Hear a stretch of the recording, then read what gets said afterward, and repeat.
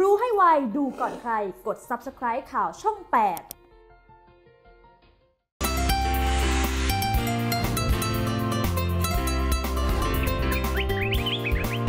มีเด็กจมน้ำครับ พ่อพ่อแม่แม่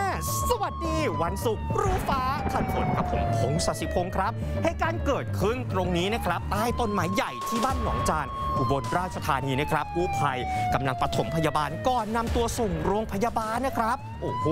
เนี่ยฮะเด็กนักเรียนผู้หญิง 3 คนอากาศร้อนจัดได้ชวนกัน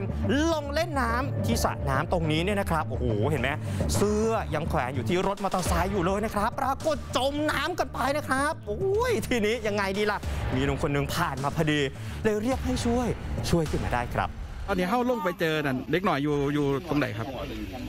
ดูหมดแล้วครับที่ไอ้กอบัวผมครับลึกแล้วร้านนี้เลิกปันไหนครับร้านนี้ประมาณสี่เมตรครับตอนที่เข้าลงไปนี่คือเด็กหน่อยจมอยู่ไต่ข้างไต่หรือเปล่าครับ ครับประมาณนั้นแหละเพราะว่าไปเห็นอยู่ใต้อยู่แล้วอืม โอ้โห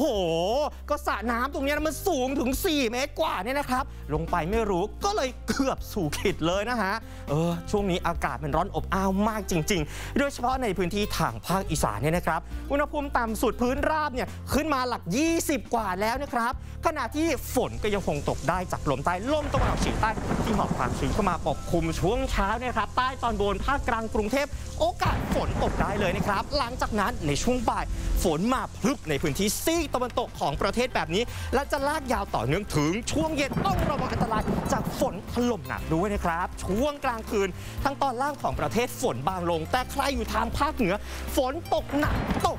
เป็นพิเศษเลยนะครับขณะที่ลมหนาวจากประเทศจีน อีกระลอกหนึ่งจะไหลลงมาปกคลุมตั้งแต่คืนนี้เป็นต้นไปนี่นะครับนี่นี่นี่นี่ไหลลงมาเป็นเส้นเลยนะครับปะทะในพื้นที่ทางตอนบนของประเทศและลงสู่ทะเลจีนใต้ ดันเอาความชื้นเข้ามาปกคลุมร้อนเย็นเจอกันฝนก็หนักในพื้นที่ทางภาคอีสาน และทางตอนบนของประเทศ ตลอดเสาร์อาทิตย์นี้เตรียมความพร้อมกันด้วยนะครับได้ยินเสียงต้มทางนู้น ไปดูกันหน่อยนะครับนี่รถความนะครับอยู่บนถนนเพชรเกษมที่อำเภอระโนด จังหวัดสงขลานะครับ รถเก่งคันนี้ เสียหลักจากฝนตกถนนลื่น โอ้โหพุ่งชนเข้ากับรถมอเตอร์ไซค์ เดี๋ยวดูสภาพมอเตอร์ไซค์กระเด็นไปไกลนู่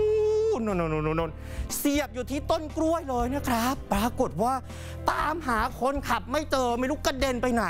หาอยู่นาน 2 ชั่วโมง 3 ชั่วโมง โอ้โห ไปนอนตายความหน้า อยู่ในคูน้ำข้างถนนเนี่ยนะครับ เออห่อผ้าขาวเรียบร้อย เสียชีวิตนะฮะนำส่งโรงพยาบาลไปแล้วนะครับ เออช่วงนี้อันตรายมากเลยขับรถขับลานะครับ เอาใครอยู่ในพื้นที่ทางภาคใต้บ่ายสามโมงวันนี้โดยเฉพาะที่จังหวัดสุราษฎร์ธานี มีความเสี่ยงเจอฝนถล่มหนักเลยนะครับ และยังเป็นพื้นที่เสี่ยงภัยระดับสีแดงด้วยนะครับ ปกติก่อนหน้านี้เนี่ยพื้นที่สีแดงอยู่ทางตอนบนของภาควันนี้ขยับลงมาทางตอนกลางของภาคไม่ใช่เฉพาะที่สุราษฎร์นะครับชุมพรนครศรีโอกาสเกิดฝนตกหนักได้ด้วยเหมือนกัน นถล่มแบบนี้ ไม่ใช่พระรามกับทศกัณฐ์ทะเลาะกันนะครับอ้าวไม่ว่าจะพระรามไหน ก็สู้พระรามเก้าคาเฟ่ไม่ได้เนาะพี่หลีเนาะรู้ฟ้าขันฝนกระพงทุกวันทุกแพลตฟอร์มที่นี่ สวัสดีครับ